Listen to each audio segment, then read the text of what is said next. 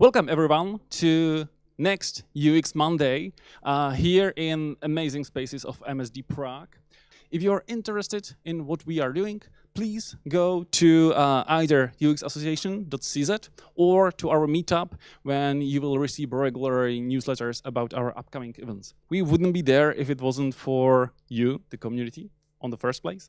And on the second place, our sponsors. So I would like to thanks so much to four, right now four, before that it was free, right now it's four uh, of our sponsors, which is LMC, a long-time partner, uh, Project Man, again, long-time partner, but not of the whole UX association, but right now they are. Uh, MSD, thanks for these amazing premises and amazing food. I don't know if you tried. I hope you did, and there, uh, and I hope that there is still some food left. But it's so amazing food today. And uh, Shader, uh, which is our last partner. Cool. Let's see if this works. Yeah. Okay. Hi everyone. Simon from Trezor here. Uh, quick question that you should always ask at any conference talk thing. Who has zero experience with crypto? Cool. Nice. All right. You are my target audience. Uh, everyone else will have, will can have a nap, can relax.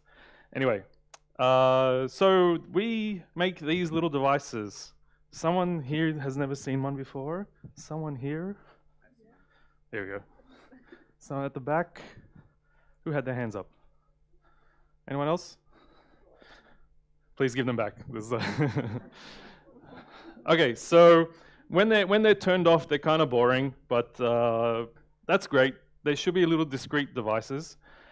And what they do, they help you interact with Bitcoin, crypto, and all these kind of things securely. Um, but why do they exist? This gentleman is probably one of the most OGs of the OGs of the of the Bitcoin or crypto world is that he has this great quote. Bitcoin is at the stage of email uh, was in the 90s because uh, Bitcoin is actually super hard to use. We've come a long way since this quote, but the reason why he says this is because the foundation of Bitcoin is super solid. Like it's on built on the uh, heads and arms of uh, of giants. So if anyone's slightly interested in this in this world, I recommend Googling Antonopoulos or Andreas Bitcoin. He's super cool. He's probably one of the reasons why I got into Bitcoin. And he presents better than I do. okay. so what do we do here? So Bitcoin and crypto introduces a pretty new concept called self-custody. Before 2008, self-custody wasn't really a well-known topic. Um, there were examples of self-custody. So if you held cash, you have custody of that cash. No one can take it off you. Yes, they can physically threaten you and whatnot, but you can hide it. You don't have to tell anyone where it is. Other examples were precious minerals like gold. You can, people would invest in gold, but you can actually ask to have custody of it. So you can get a gold dealer to bring it to your home, or you can meet them on the street, and you then have custody of it. And in theory, no one can really take it off you. But why does that matter? Because money, as we mostly know it, or mostly have experience with, is not in your custody. So if you have money in a bank and you say, hey bank, I want to buy something on Alza, the bank allows you to buy something on Alza. And at any point in time, the bank can say, no, you don't have to, or you not, you shouldn't. Because the bank is the custodian of your money. And this is the topic that Bitcoin and cryptocurrencies introduce, uh, where you are in control and are the sole proprietor or the owner of your money. So these little devices floating around, they basically hold one bit of information, and there it is. That's the secret. uh, but what this is, is uh, a private key and this starts the problems with crypto. Crypto is embedded with horrible terminology. This is technically accurate. This is a private key. From a cryptographic and maybe computer science point of view, it is entirely correct. But end users don't understand this. And this is what Trezor, 10 years ago, has, in, uh, let's say, tried to fix, let's say. So this key can be represented like this. These are called mnemonic codes or also known as a seed phrase. And these 12 words can recompute your private key. Why is that important? If you get that Trezor that's in your hands now and you get a hammer and you smash it, if you backed it up with this piece of paper, you get another Trezor and your Trezor is back to life and you can access your coins. One common misunderstanding with our product is that how many Bitcoins can I store in the Trezor? Well, unlimited. Technically, there's 21 million, but that's not the point. All you're storing is the key to your Bitcoins. Bitcoins are stored on the blockchain, and all you have is one analogy, and it doesn't really work, but I'm going to try, is the private key is like a pen, and the pen signs checks, and the checks then gets cashed on the blockchain, but the pen cannot get out of the Trezor. That's why it's secure. So the moment this information gets onto the internet, or someone takes a photo and sends it to their friends and these kind of bad practices, uh, we consider it compromised. And our little devices, this information never leaves the device. So a lot of security talk here. And security user experience is really hard. And this is where the first joke comes. It sucks and it's a common thing. so at Trezor, we have a core principle, core principles, where right here is an equation, user experience, security, privacy. So user experience multiplied by security multiplied by privacy. And if at any point in time, privacy is zero, the whole equation is, is void. So we are constantly fighting to make sure that everything is at level. So we actually have ways to increase security amazingly. But the user experience is shit. You just can't give this. It's not an acceptable product. So these are the levels we are constantly fighting. And what, I'm, what I will be showing is a case study where we managed to increase security, but unfortunately lowered user experience. So that's what it is. It's a, it's a technology called passphrase. And where, where it's challenging for most users is that it's, it's not a password. So common internet experience would have password can be reset. What's my password? I forgot it. And there's a reset mechanism. But because you are the sole holder of your information, that private key, if you lose that, it's gone. There is no service or tool or way to get it back for you. And passphrases increases this to the next level in terms of security. So if you went back, whoops, and you found these 12 words on the street, you could then put them into a Trezor and collect this person's funds. But what passphrases do is it adds an unlimited combination of these. So for example, it's sometimes referred to as a 13th word. So I could, in theory, say number 13 is my mum's name.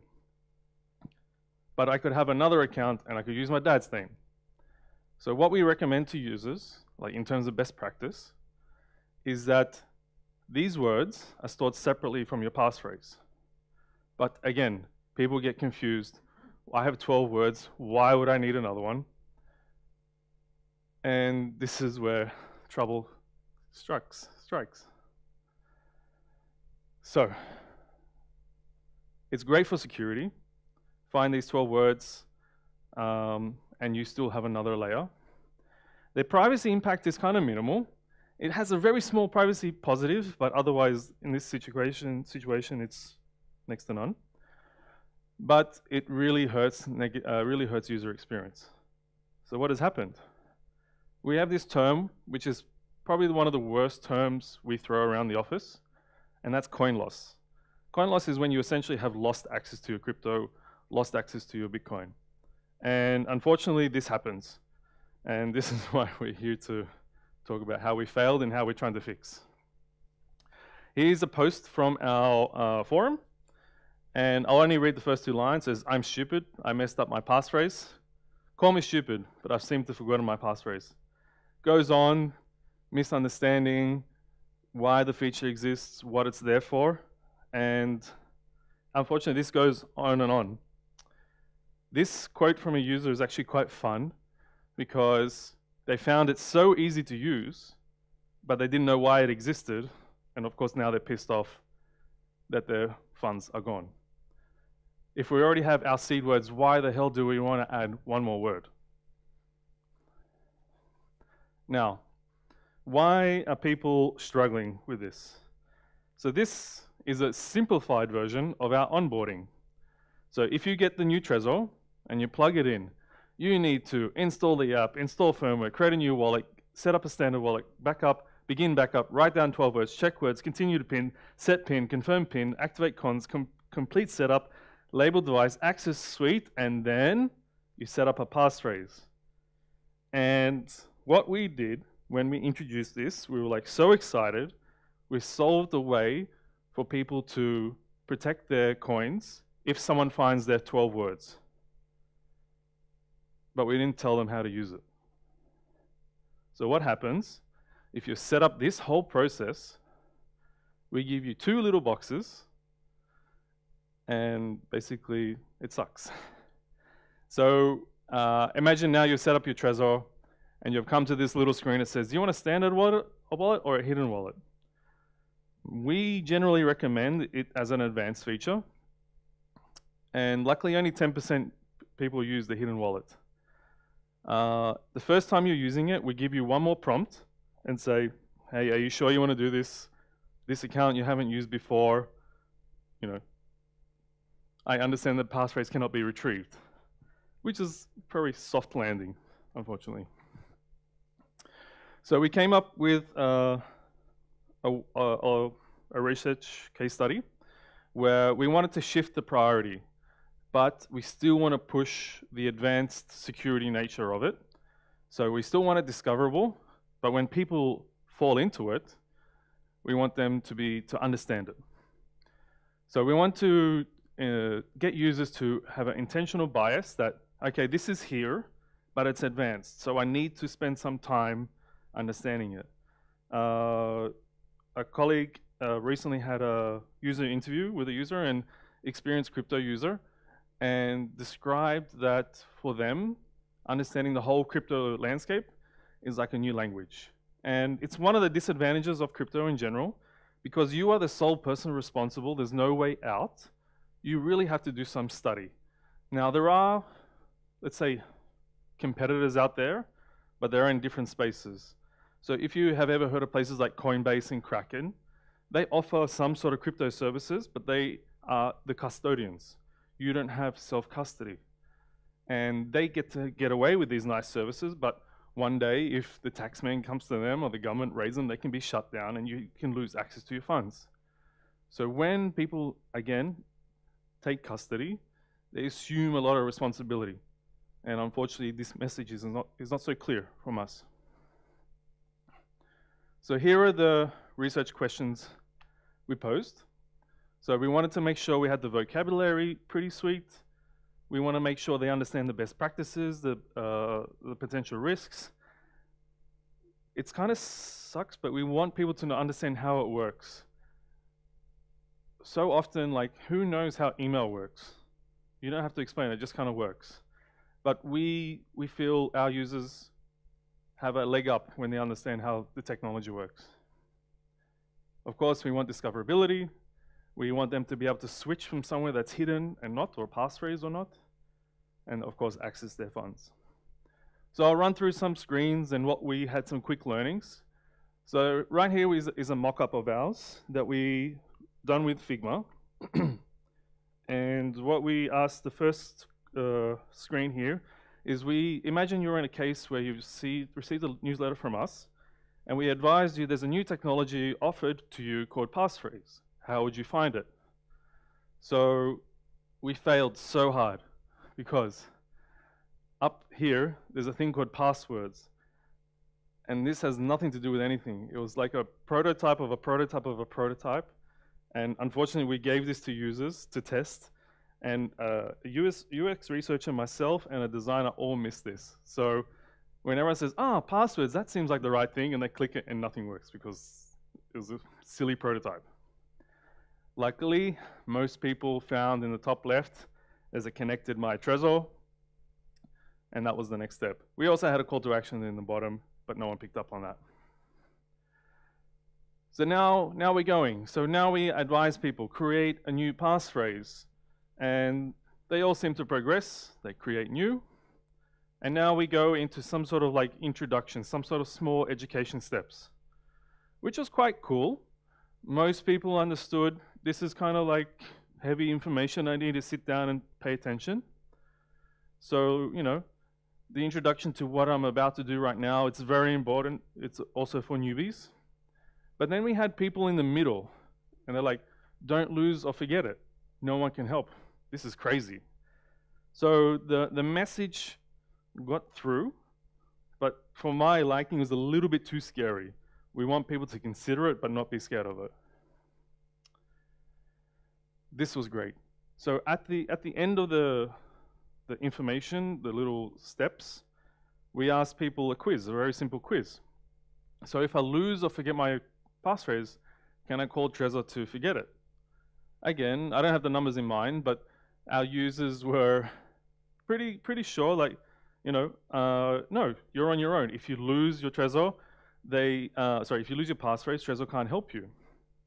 But, of course, as users are users, some people thought this was a setup.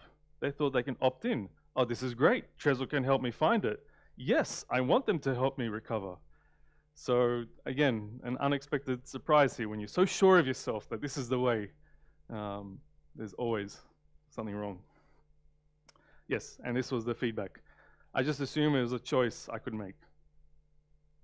Amazing.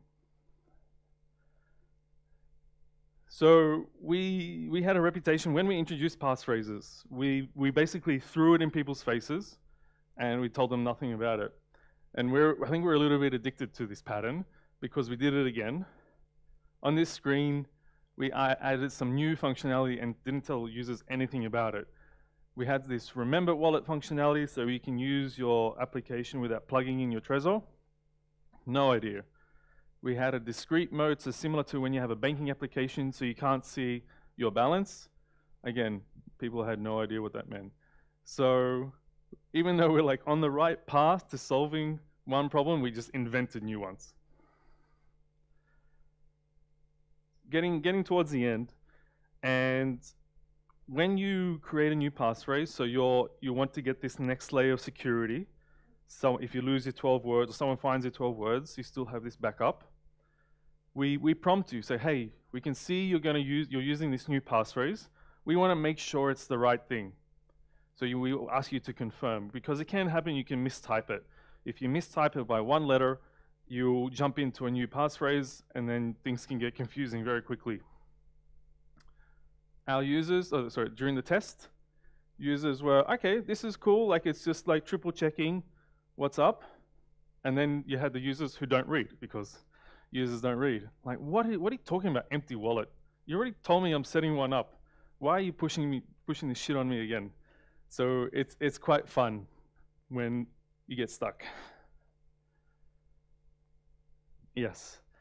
And now, so this, this is a screen where a user has successfully set up um, a passphrase wallet. So this is like the, the normal flow. Sometimes we call it standard. There's no passphrase. You go in. If, so, if, if for whatever reason someone found your 12 words, you'd be directly pulled into this account. And then people can optionally opt in for a passphrase wallet. So during the flow, we ask people, create a passphrase wallet. And now, what do you think of this screen? 50-50 got it, but the, the, of course the fun ones were like, okay, I created a passphrase wallet, so why the hell are you showing me two options? Like I just I just decided I want this. Why can there be two? What we where we failed is passphrases are unlimited. So like I said before, I can set a passphrase for my mother, I can using my mother's name, I can set up a passphrase for using my uh, father's name, and it's unlimited. So we're still a little bit sucky at doing this. So this is the this is the results of our of our research. Didn't quite nail the vocabulary, got some messages down, but not everything. People were understanding the risks and the best practices that if I lose my passphrase, I can, I'm screwed. uh, they get the idea how it works. They manage to discover it apart from our mishap. But switching between it and getting access to funds was quite tough.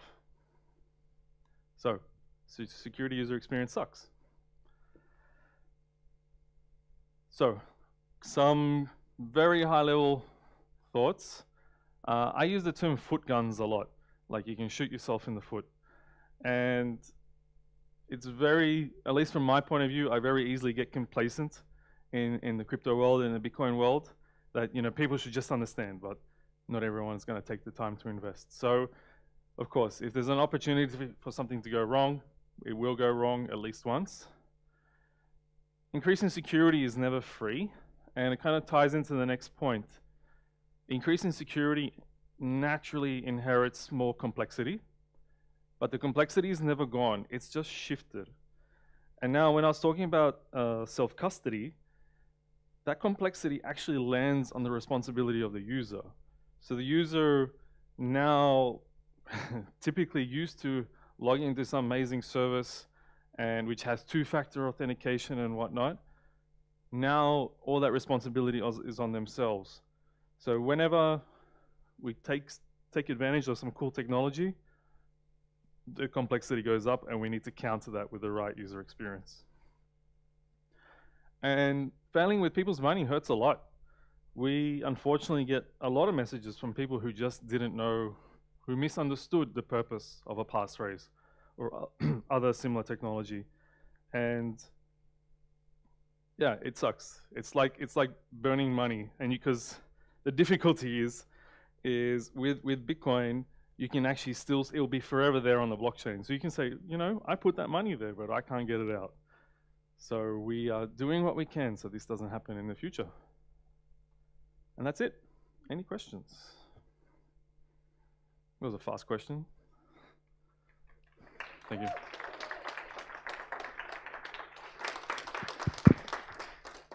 Early in the beginning, you show quite a complex user journey mm. until you can start using it properly.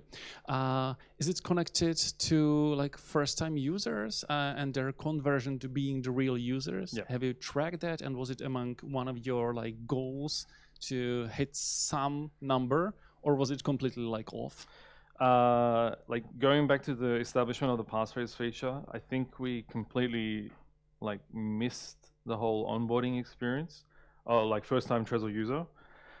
So if you were to use, if you're an existing Trezor user and we introduce passphrases, you would just uh, see passphrase pop up and it wouldn't, it ideally wouldn't be that intimidating because you're sort of used to it. You can escape and just go to standard wallet. Uh, but I feel like this is before my time, but uh, I feel what happened was we completely skipped passphrases during onboarding. So there was, we already had this long chain of events and why not throw one more? Uh, res responsibility to the to the end user. How uh, how important is the metric of the onboarding uh, going through for the users important for you because it's very important for like a digital design because the users can drop off yep. and you lose money. But in your case, you need to buy the device beforehand. Yes. So I, I think like the motivation to finish the whole onboarding is is is very high because yes. you already bought the device. Yes. So yes, yes. how this metric is like important for you we don't necessarily we, we do measure it, but we do have these unique advantages that people have already bought it. And one interesting persona is people will buy and then like, oh, it's too hard, put it in their drawer. Two years later, open their drawer and go, maybe I'll try today. So um, the, the metric is not so hard, but in terms of onboarding, uh, we we, we suffer in certain times of, of the market. So right now in the Bitcoin world, we're in a bull uh, bear market, so the price is quite low. And, we, and our activity is actually quite busy when the price goes up. So when the price goes up, people get excited, they want to buy Trezor, they pull out their Trezor from their drawer, blow off the dust, and they start using it. So the metrics that we're interested in is uh, support. How many support requests we get for people who are unable to onboard themselves. Uh, so yeah, onboarding for us, like we, our, our, core of the business is we want people to be sovereign, and if they can't do that with our technology, then we fail them. So I don't really have a direct answer to your to the metric, but it has a side effect on other parts of the business. Hi, uh, I have a question about the passphrase itself.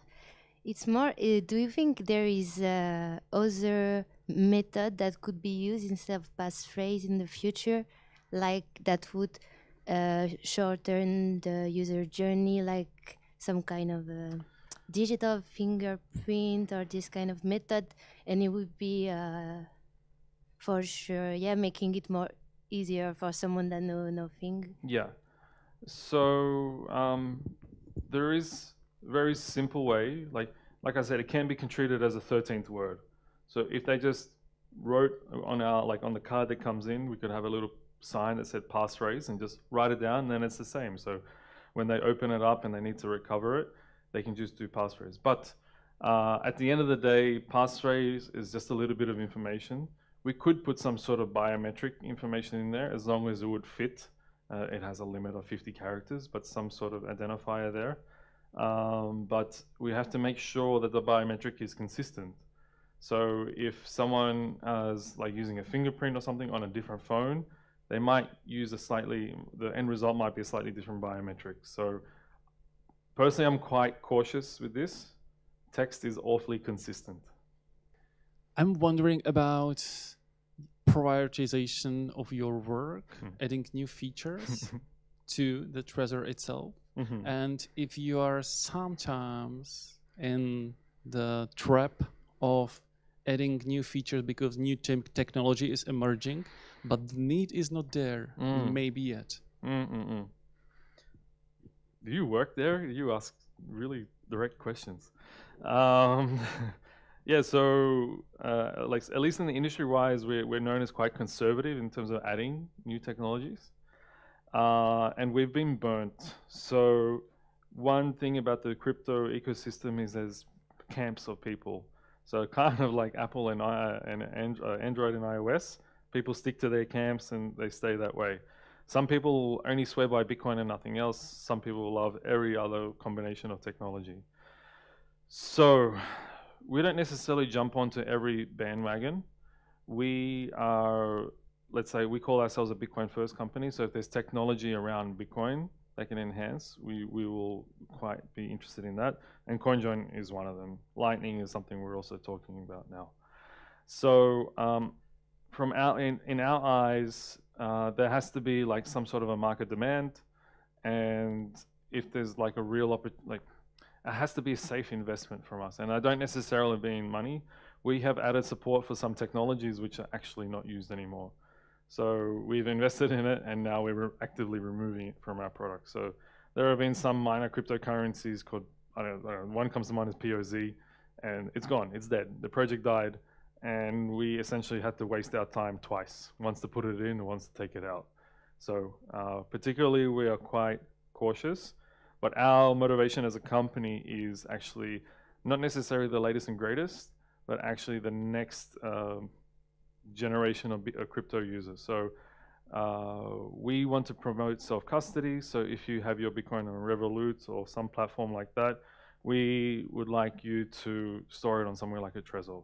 So this target is what we're looking for next. So ease of use is actually quite critical to what we're doing, and this is why we want it. We need to fix our passphrases. How big is your team and how do you cooperate? Cooperate well with my team. uh, so in terms of product, uh, please colleagues help me out. Uh, product managers, we have like three, four product managers. Design team is slowly growing. We have five, six designers. Research team is three people. So a uh, couple more, I'd say. Yeah, we've had everyone together. So our product team is like 14, 15 people. Yeah. Are you hiring right now? Uh, is the answer yes, wrong? Yeah, we're always hiring. Good, perfect. Uh, who's the main target group of Trezor? So uh, we have a nickname for this persona. We call them Eddie, the exchange coiner. So they they store their cryptocurrency on uh, crypto exchanges, Binance, Coin, Coinbase, and we want them to take custody because it's not safe. Nice. Finally, I understand the difference between face phrase and seed phrase. Passphrase, seed phrase. Yeah. I thought they were actually the same thing. That's Okay. cool. Yeah, you learn new That's, stuff, a, that's, Michael. A, that's a win. How long does it take to develop a new feature, and how many user testing it usually takes? Uh, it's an impossible question to answer. Um, like CoinJoin took years, years of work.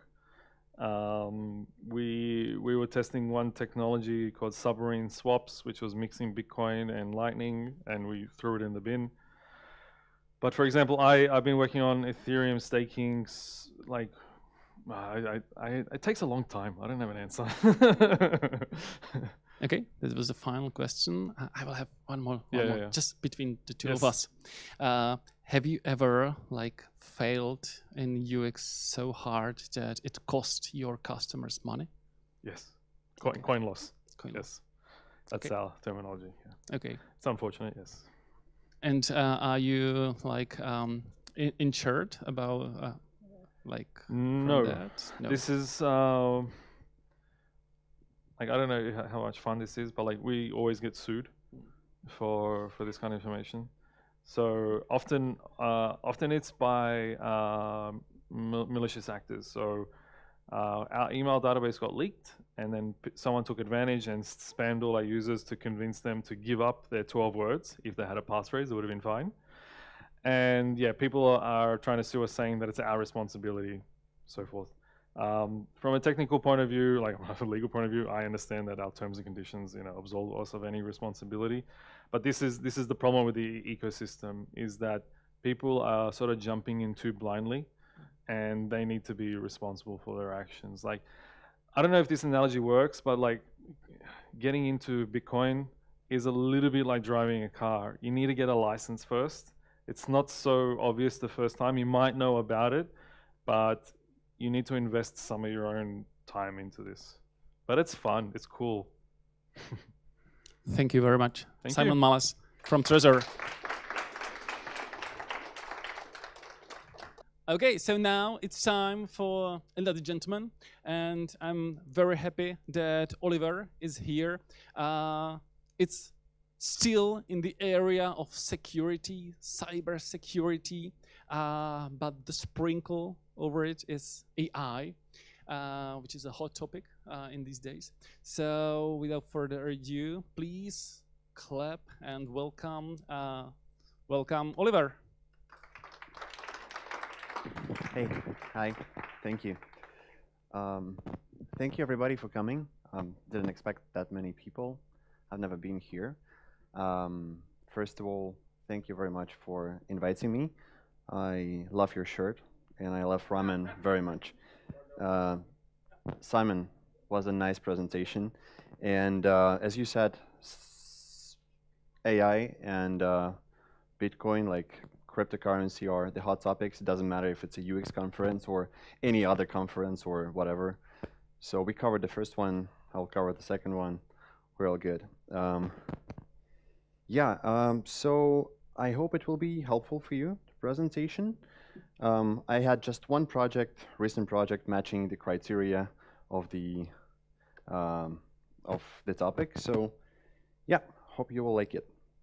So first of all, before we start, um, I'll say a few words about myself. Uh, my name is Oliver. I work in a company called SentinelOne. Um, how many of you knows uh, know SentinelOne? Yes, somebody. So uh, yeah, I love the company. I'm there for a year and a half. Um, it seems to be much longer, but um, yeah, love it so far. Um, and uh, I'm leading the establishment of the Czech design team. Um, this the last line. I tried to rewrite it with AI because it sounded stupid. I like design systems, but so I just wanted to say that I like design systems, and um, I like ideation phases of the projects very much, like the the the the, the beginning, the the startup phase when it just, you know, when you just uh, bring the idea, somebody else brings another idea, you try to break it, they try to break yours. So this is my favorite part. And I studied in Czech Technical University. Um, so personal stuff, I'm 33, I like traveling. Um, I built a really, really old house and I do music, so follow my band. Uh, for context, uh, the thing that we're going to be talking about today it's a little bit more technical. It's like a cybersecurity, uh, a little bit deeper. Uh, I tried to remove everything that is like too much, uh, so I hope I didn't oversimplify it. And uh, just first of all about SentinelOne, if somebody doesn't know what what type of company is this, it's a cybersecurity um, endpoint protection, a cybersecurity company.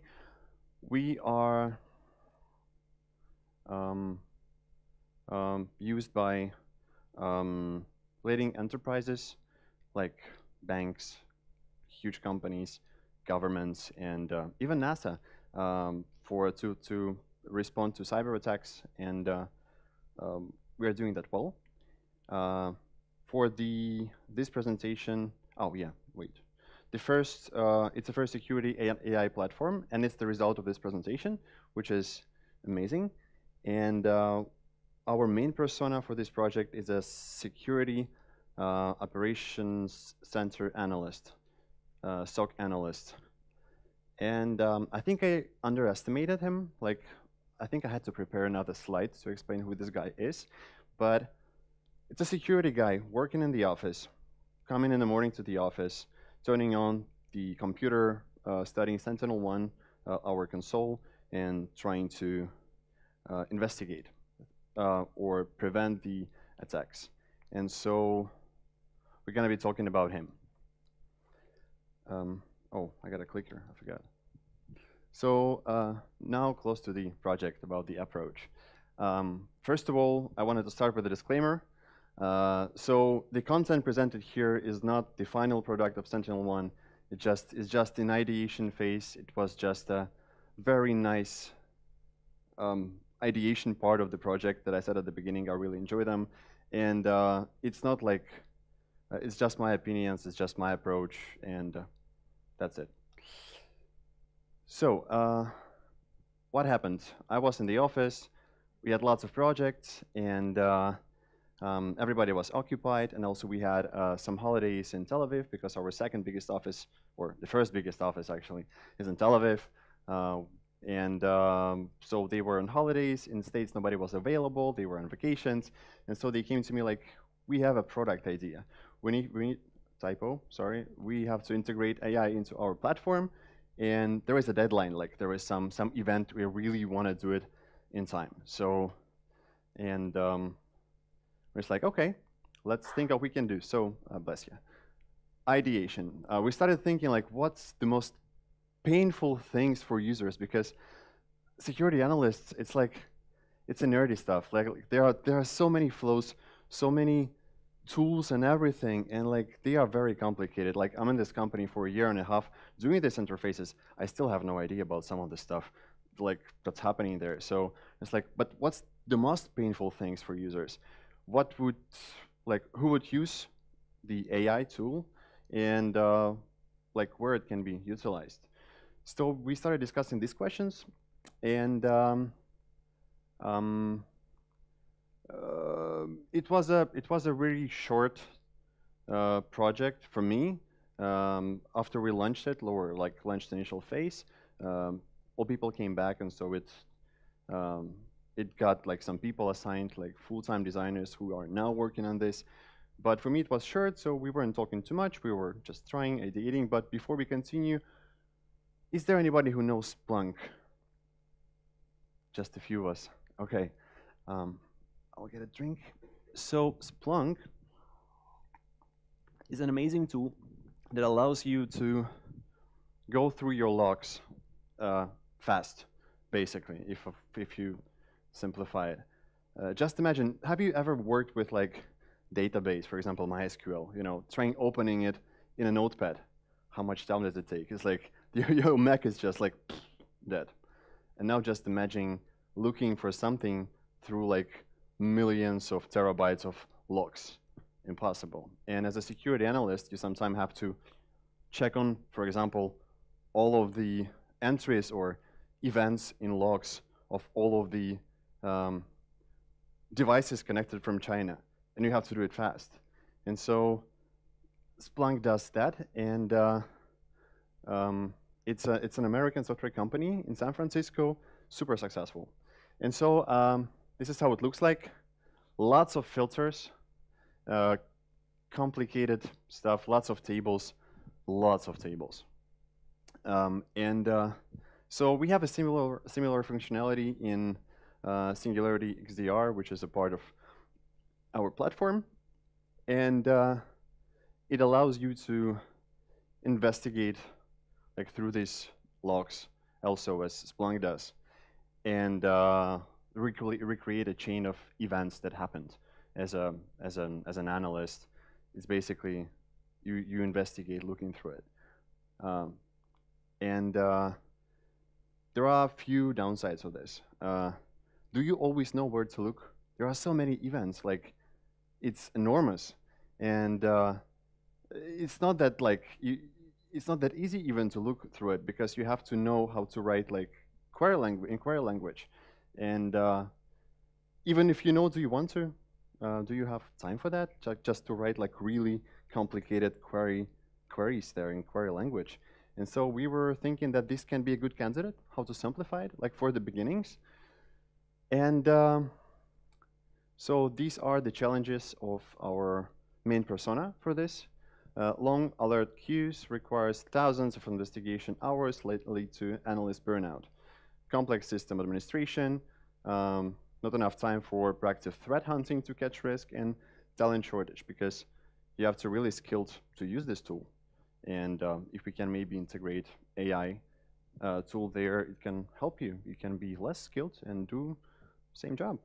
Um, and so um, I won't be going too much into details of discovery and everything. Just it's just shortly, uh, we were discussing a lot for lots of hours what's even possible. Uh, also, what can be the entry point because, for example, you saw the screen of Splunk. Like we have the same tool. It's also like you you have to work with the table, or do you? Um, you have to work with these filters. You have to represent the information somewhere. It's not ChatGPT where like this communication is the main thing that you're looking for. Um, you need to see the data. And so what's going to be the entry point? How do we want to show it? And uh, what what's the what's the scope? How much we can deliver in just a few weeks? Um, and uh, so in two weeks, um, I decided 12 primary concepts. It means 12 uh, different concepts with all prototypes, with all of the micro interactions. We always came like uh, meet with the developers, and we always dropped it because we found a better solution. So 12 primary concepts. And uh, um, we were talking about many things like why would you want to use AI, uh, when would you want to use AI, um, should it be combined with the main search? Because you saw you saw this Splunk, they have like the search panel on top, and uh, would you still want to use it? Uh, should it be like, or should it be combined with AI? And can it be combined and still be used not for AI searches and so on? Can you still be like, do you want to combine it also with the with the queries uh, query uh, language? And um, yeah, and so these kind of questions and. Uh, the ideation was the best part because we had even the top management of the company, which like it's a big deal for me, especially because I never worked with them.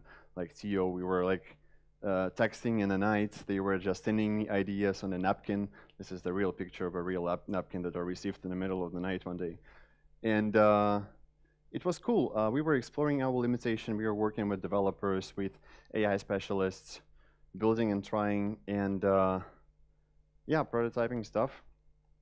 Um, also, one of the problem was the how much time would it take to answer because, as I said, we were working with these logs, and these logs are enormous, so it takes time to process the information to generate some meaningful output.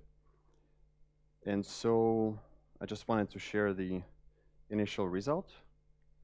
Uh, this is like, doesn't matter, but before we go Further, this is, again, Splunk, how it looks like, how our tool uh, used to look like, and this is uh, what we came to.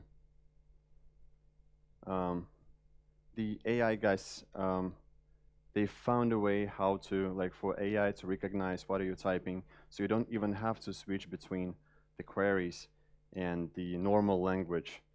And uh, yeah, so on top of this, when you're looking for something like, give me, for example, search for um, some stuff, it can, like, can we provide something in addition to this? Like, can we suggest you the next questions, like something you may want to be looking for if you looked for this according to what you found there? And so we're working on this stuff, and uh, it's there. And also, can we suggest by the AI some actions that you can take according to what you found in this data?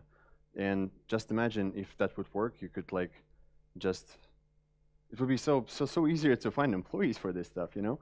Uh, so yeah, this is how it looked like. This is an example of uh, the query language.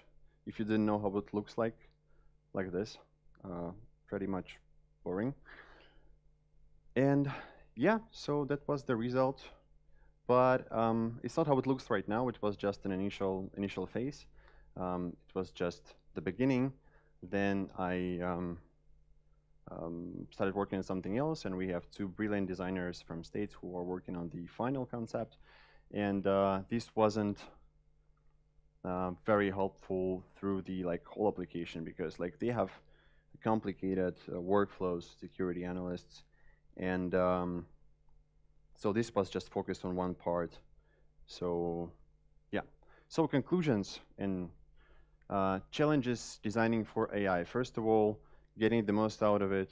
Can we automate? Can we suggest actions? Can we suggest questions? That was very problematic. And not only this, basically, all of this takes a lot of time to generate. So how can you uh, like make the user waiting and still have it like seamless somehow? So balancing with this was hard. So instead of like looking for the answer and then started generating like additional questions and actions. We had to do everything at the same time so we can show it like um, faster. And so yeah, long waiting time and what we can do. I don't know what we, uh, yeah, you don't know what you're getting. And so in interfaces, it's, it's nice to know what kind of answer you can receive. And so when I was designing till the last few, late, latest few days of the project, I thought the answer will be like, a few lines of like, yes, no, here is the data, here is the stuff. And then we realized it's not enough. So we started digging, digging deeper. And just a day before the presentation, before the output should be ready and working, including coding, we realized that we are getting uh, like four pages of text. I'm like, okay, oh my god, and uh, it, it, like it makes a difference, and uh, it it makes a difference, especially for your layouts there because, as I said before, it's like a, it's a big page, and uh, you have to work with the table, and uh, so you cannot take the whole page with this text, enormous text. And also, if you would take a half, we still want to present after the the additional questions that also can get longer. They also can have like two lines, uh, like or actions. And so this was a really complicated stuff that I didn't know, we didn't know what we're gonna receive from AI. And uh, I was a little bit scared about this because it was like, it was presented on a conference and it wasn't like, we didn't have like a script and planned questions and anybody in the audience who was like on our side just to ask the right question. So it was really trained AI. So people could come and ask for something and we didn't know uh, what way they're gonna break it. so yeah, um, um, and um, yeah, so working with the query language within the same input can be very long too. So like there was a very advanced logic of how the size of the top part and the bottom part was changing according to the amount of content that we are getting and this kind of stuff. So in lessons learned from me, uh, first of all, the best opportunities are very rarely planned and be micro ambitious. So um, I liked how Tim Minchin once said, I don't know if anybody knows Tim Minchin, I love this guy. he said uh, in one of his speeches to be micro ambitious because we are planning to be successful in this stuff. We are growing our career and go there and go there, but sometimes life just gives you an opportunity. And this so far was a, a coincidence, and it was like one of my uh, best projects in my life. I loved it very much. So be open to stuff. It's very cool. Um, also, everything is achievable when you work with open-minded people. You see it very often in your jobs, probably. Sometimes you come to an engineer saying like, okay, I got this stuff, we have to do that.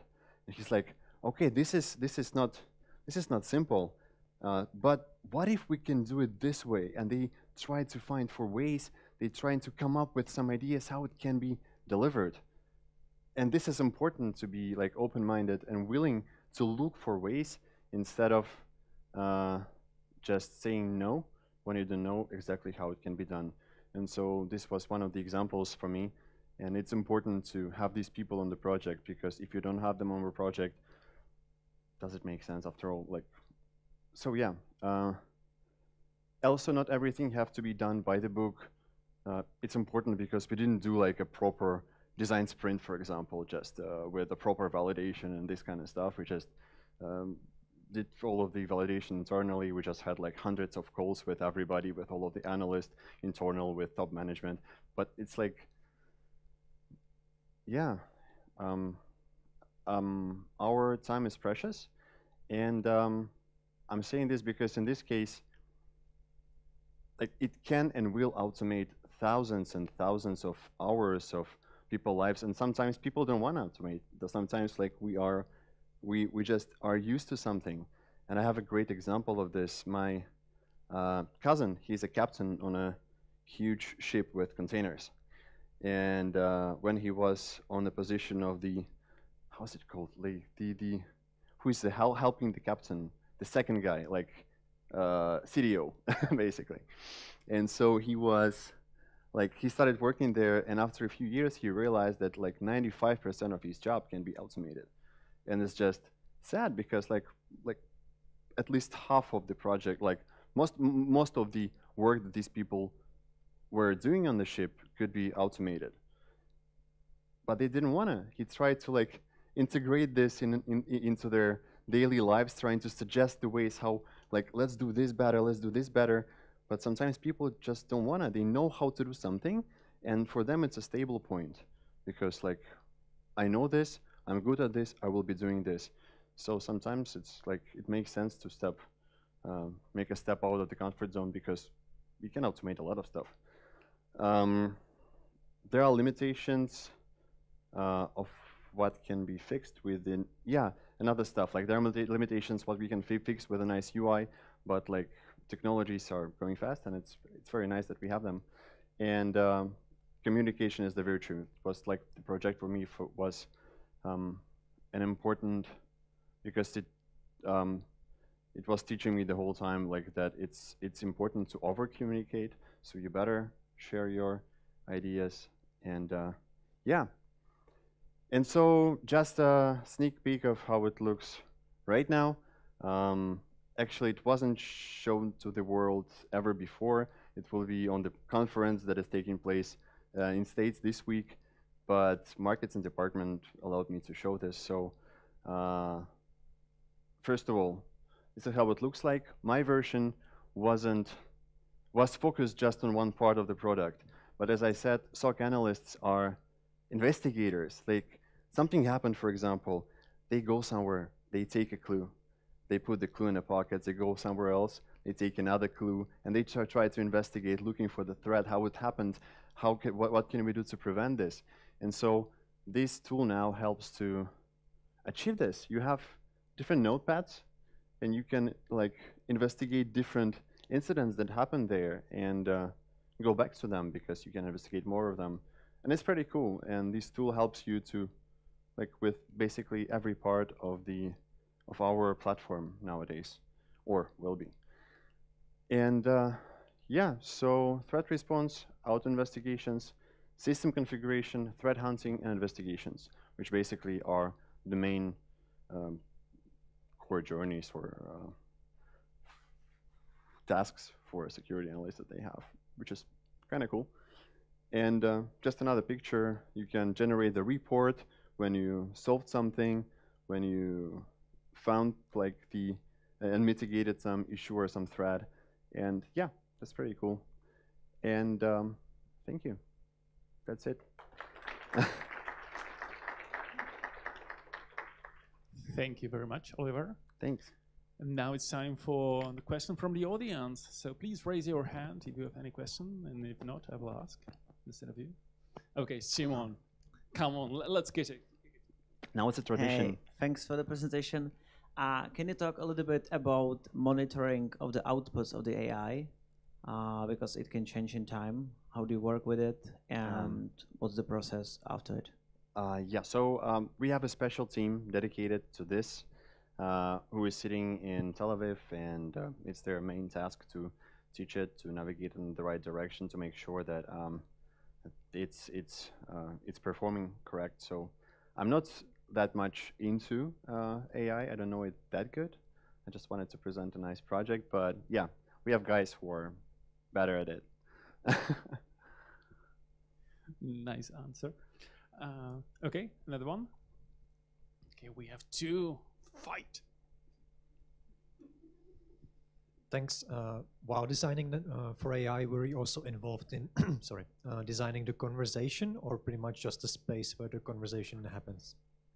Uh, conversation, you mean the answers from yeah, the the tone, anything of that sort. Uh, yeah, we spent quite some time on types of the answers that are uh, that like analyzing how meaningful in, it will be for the analysts, talking to analysts, uh, asking like because also our expectations of, of what is useful for them um, were different that it was.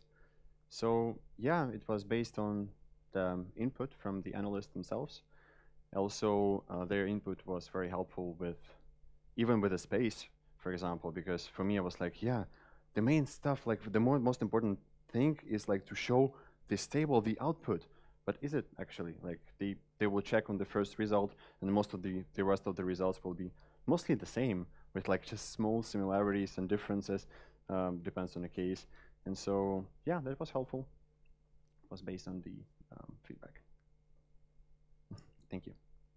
Hi, thanks for the presentation. Thank you. I wanted to ask what kind of AI or what AI model did you use for this? I'm not sure if I can share that. Okay, Uh, is it your own or your ju- you just integrated some existing model? I'm not sure if I can share that. Thank you. Okay, thank you. Uh, how did you solve the long waiting time from the UX perspective? Yeah, it was uh, first of all um, we decided it was again a long journey, but it was kind of interesting thing. So we we asked we were we started asking a few questions simultaneously. One question is more simple to give just a summary uh, answer.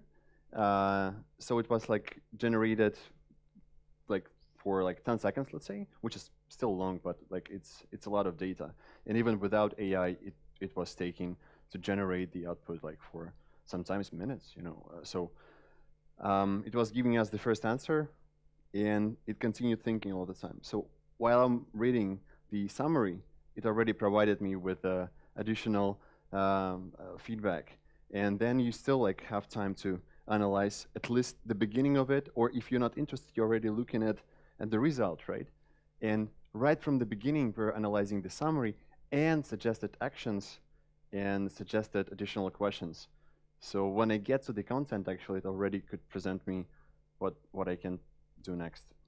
But yeah, that's that's how it was back then. Now we'll see when it's released. Thank you. Thanks. Yeah. It's a little bit of a silly question, but so the you your text input could either be like a query language or it could be like a spoken language, and the AI would respond. I'm assuming the AI would respond with like uh, query language, which Yes. you can use. So does that mean that AI is potentially training the humans on how to use itself? I love this one. Um, basically, yeah. Okay, who is? Yeah. over there. Okay, so maybe I missed this, and apologies for that. Um, but I wonder, in the like in the first place, what was the intent to start using this AI tool versus the table? So, for example, the table we use we want to want, when we want to compare data, right? And, and similar intents. But now I'm trying to understand if we are more like designing the conversational thing to re sorry, replace the with the table what was the reason for that, right? Well, like uh, we weren't trying to. Yeah, thank you very much, and nice to see you, by the way. Uh, we weren't trying to uh, replace the table, uh, but first of all, we were trying to give an additional option how to use uh, the query uh, to find some data you're looking for, because like even if you know how to use it, you may be not like expert in it, and this allowed you to like really be able to find for everything.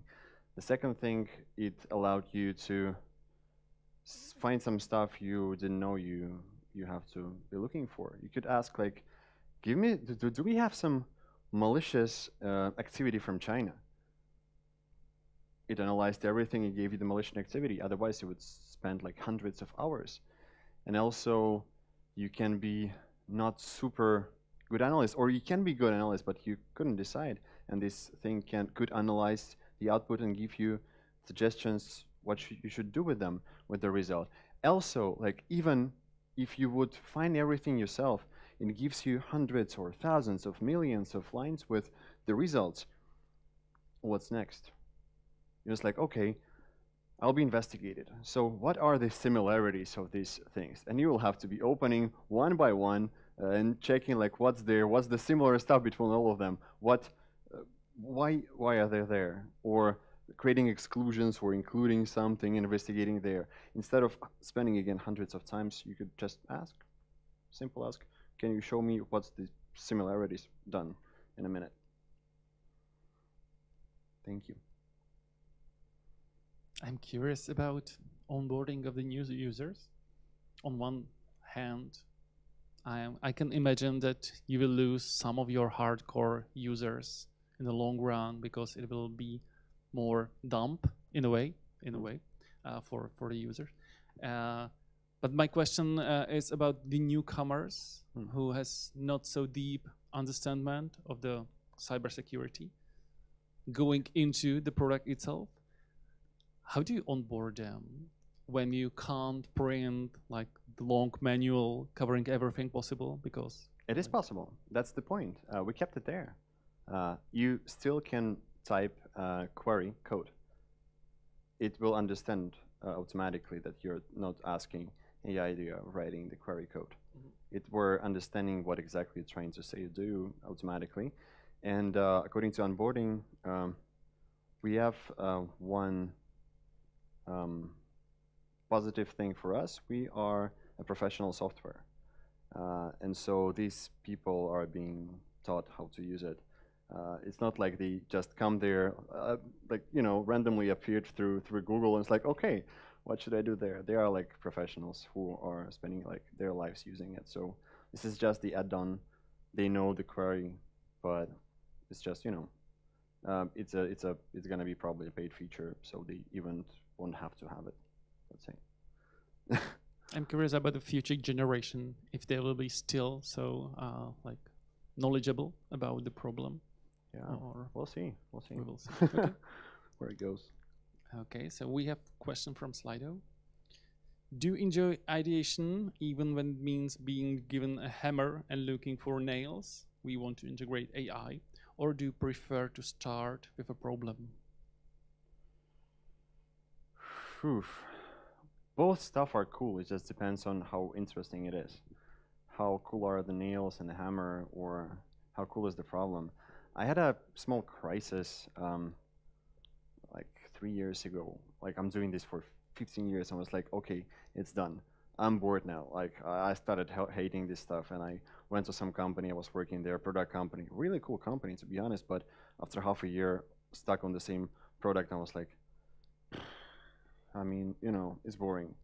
But then I realized it's just just it's just about the idea, just about the product. To have the right people there, to have the right thing that you really believe in, and uh, we all kind of know that, you know. We, like, like I like my project, but do you really love it? Do you really like the stuff you're doing?